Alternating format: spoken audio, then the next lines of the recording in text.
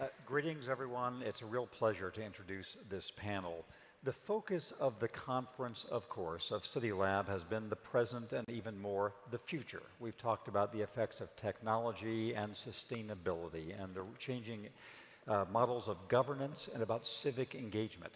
The purpose of this panel will be talked about the ways we incorporate the past, the public version of the past that affects cities' identities, nations' identities, especially when we're talking about difficult moments of the past. All societies have their challenging moments. The question of how to recognize and incorporate them is the one that we're going to be dealing with. And, and our purpose at the end of the session will be to give guidance to mayors, to civic leaders, to artists, to other people trying to shape the usable past, about lessons from around the world and the ways in which this has worked successfully and less successfully, and how you can apply these lessons in your own cities. So, to do this, we have an outstanding panel of practitioners, of artists, of uh, entrepreneurs of art to give us uh, their, their, their, experience. And you've heard the backgrounds of Kate Levin, whom you all know from Bloomberg. She was the commissioner of, uh, of Department of Cultural Affairs in New York for more, more than a decade and now supervises arts programs for the Bloomberg's uh, philanthropies. Next to me is Esther Shalev-Gerz, who is an internationally known public artist based in Paris, but doing works across Europe and now in North America as well. And Tor Einar Fagerland, a professor at the Norwegian University of Science and Technology, who's been centrally involved in these major efforts in Norway to deal with its, uh, some of its, its commemorating its uh, public history. I'm going to start now with, with Kate Levin. To ask her to talk about some of the projects she has been involved in in New York. And what has, she's going to tell about, about two of them in particular. And so, Kate, I turn the stage over to Kate to tell you, uh, show you some images and the lessons to be learned from these uh, great public art works in New York. Thanks Kate? so much, yes. Jim. Um, if I could have the first image up on the, the screen. Uh, memorials are part of the continuum of any kind of incursion into the public realm, but you know, they are particularly fraught and they carry so much civic aspiration with them. So, you know, the, the attention to the specificity of circumstance makes each of these kinds of projects unique, but I do think there are some shared inflection points. So hopefully these two examples will help surface some of them. The 9-11 memorial uh, was commissioned to commemorate the horrendous loss of life in New York City, took 10 years to build, and was uh, surrounded by all kinds of controversies. But a, a, couple of things I think were key to its successful, successful completion. And at this point, over 30 million people have visited the memorial, and over 8 million people have visited the museum. Uh, first was the actual selection process a jury was created of 13 individuals of a range of backgrounds, but they were asked to select a project based on a program that had been developed over a series of months through a process led by my colleague Anita Contini that took into great uh, consideration a lot of community involvement. So not only was the project done based on a program a set of program guidelines, but there were also uh, guidelines of principle, and one of them was that the memorial would evolve over time.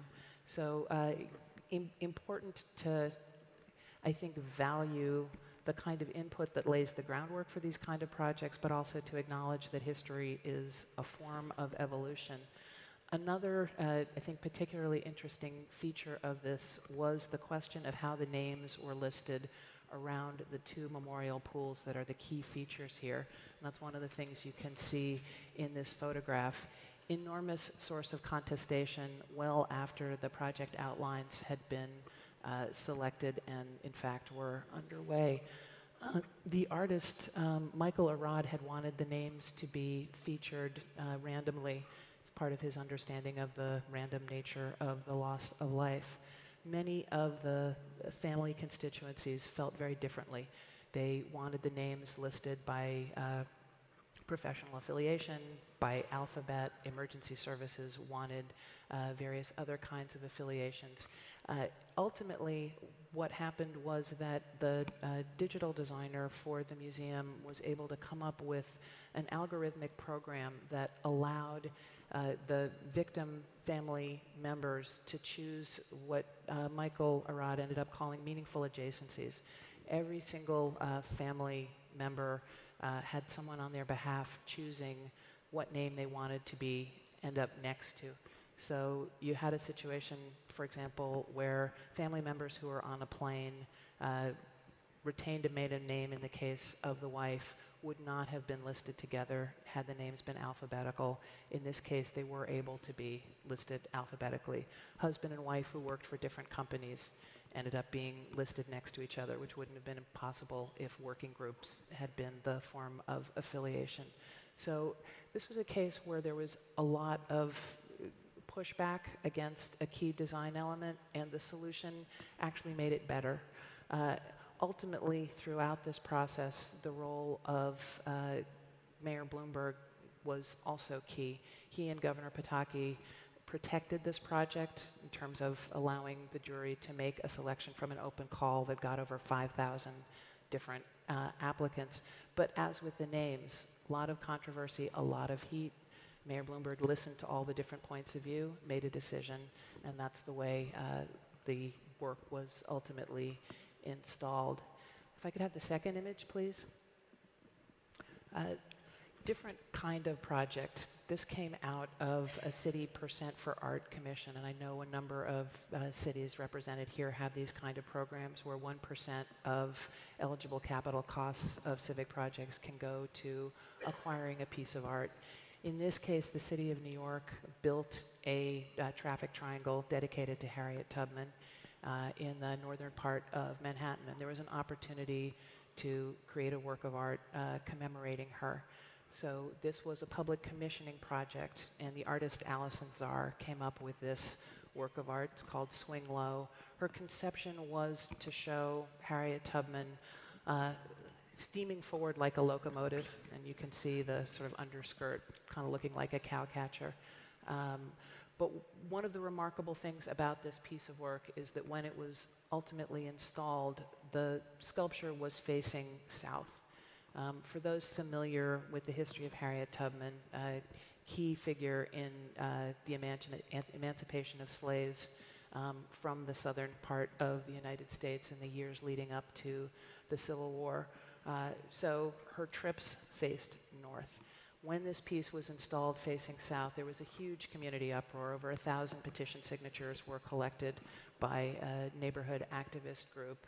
Um, one of my favorite accusations as a bureaucrat, and in this case, bureaucracy is a term of art, was that this was a conspiracy to make the triangular shape of the plaza look better um, by having the, st the, statue face uh, in that direction. But the artist had been very clear in her conception of Harriet Tubman's courage. It wasn't just that she went north in acts of bravery, but it was her compassion in continuing to go back um, at periods where she could have rested on her laurels, claimed her heroism, gone on with the rest of her life. But so the, the orientation of the work itself was fundamental to the conception of the person being commemorated. So while the 9-11 memorial was done and opened within 10 years of the actions it commemorated, this was a case where you had a historical figure uh, being re-remembered over 100 years after her passing and well over 100 years after the work for which she was known.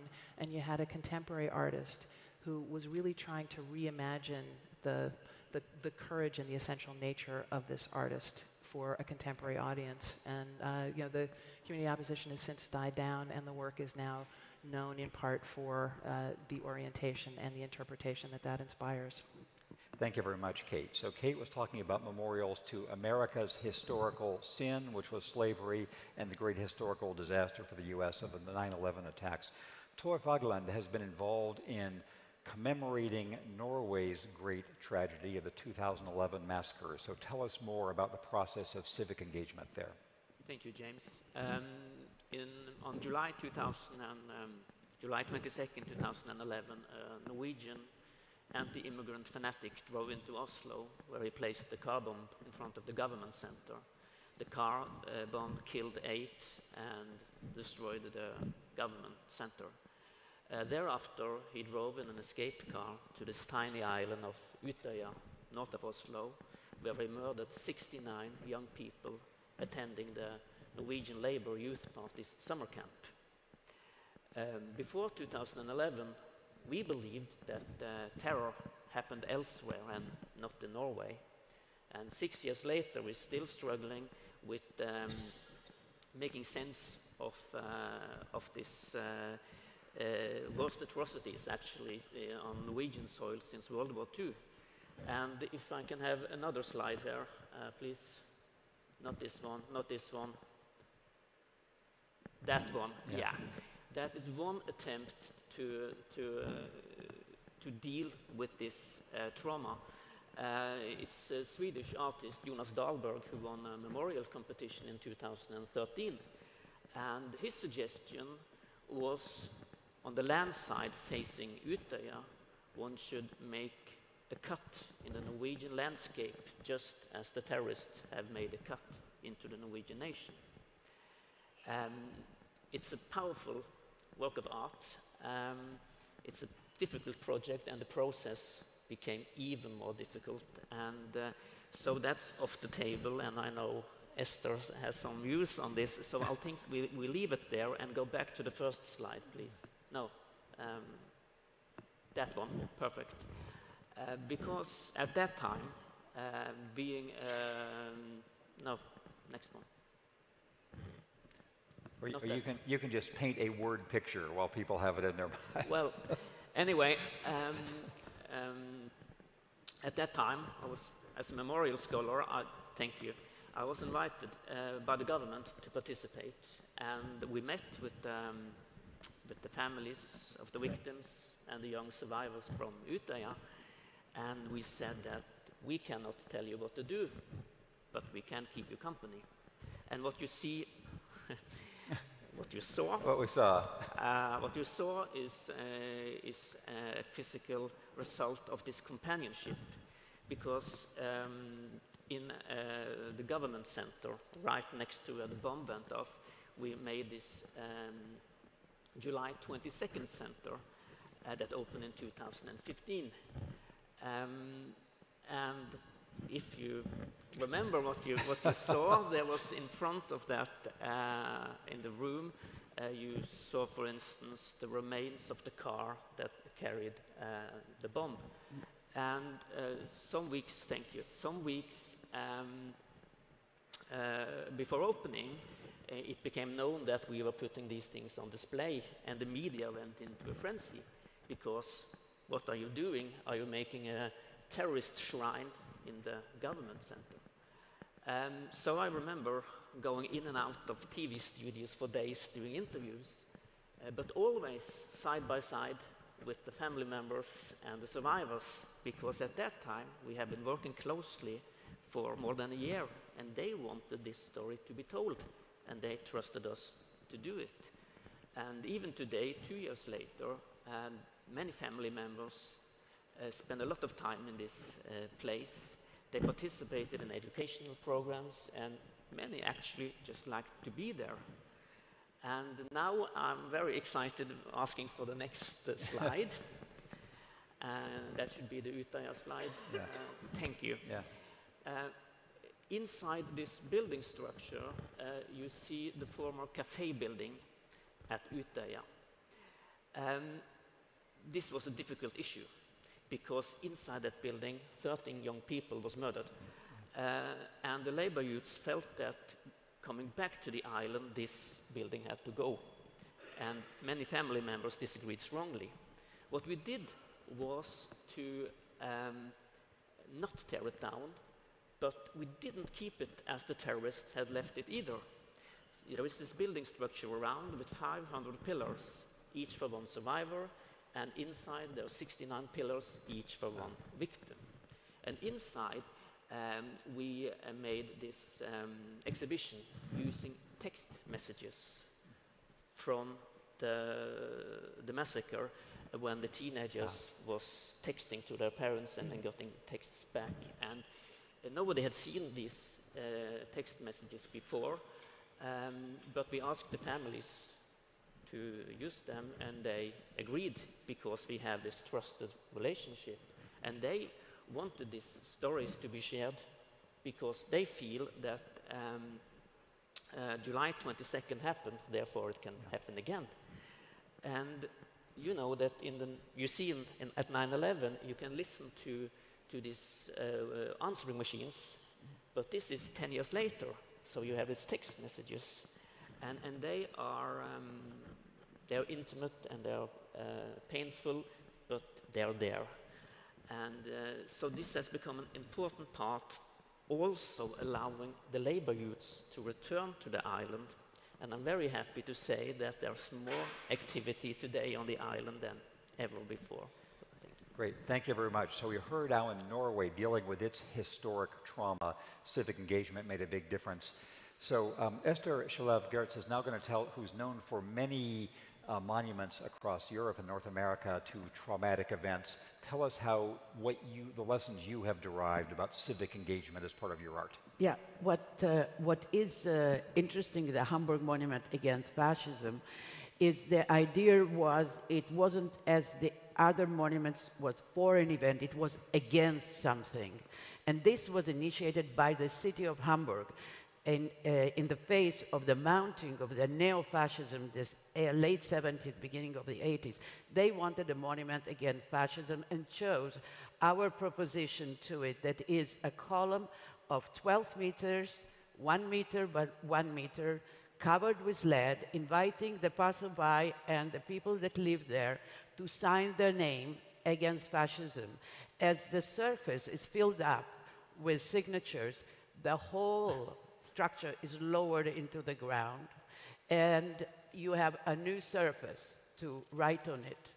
And during seven years, this, uh, this column was actually lowered into the ground as the text that invites everybody in seven languages next to it is saying that the monument cannot fight against fascism, it's us that have to do it. At the opening, it was a havoc the people of the city hated the monument. They said it's not a roaring uh, lion, there's no name of victims, and we have to sign. What does it mean? This was inaugurated in 86. And for me as an artist, what was amazing is to see this, this big 400 people room talking, shouting and screaming about stuff they never talked before. And this, for an artist, is an interesting uh, events, it can be scary, but it also is very cathartic like. It can move things forward. And uh, for our great, wonderful uh, luck, the Berlin Wall disappeared in 89. So suddenly people kind of slowly understood what does it mean participating? What does it mean to take uh, a stand? and to work with. And for me as an artist, to understand how can you deal with uh, a very cruel act and what is my art situation is not to repeat the cruelty, is to try to take it to another place. And this is the art part. And as an artist in public space, you never do the tango alone. You have at least three more people to do it with you. The one that commissions, the one that judges, and the, uh, and the people that have it. So this work was a, a, like a major work, but it was also, I was bathing into monuments, be it the Russian monuments. I was born in Vilnius under the Russian occupation grew up in Jerusalem under the Shoah and the Holocaust monuments, and the only thing I wanted is monuments to disappear. and means like how can you do something that will be of our time? How can you sacrifice, and the word sacrifice is a very interesting thing. Uh, how can you work with this work historically and conceptually to create a new space for us to think about things that are not easy to think at that time in Germany there was no monuments at all. And they wanted only to talk and not to have an object because it was still so new, as we heard, like in Norway, they never had this. So for me, this was a big challenge to deal with it. And what I did more or less, we sacrificed our work, right? But we gained this new space that took time to deal with.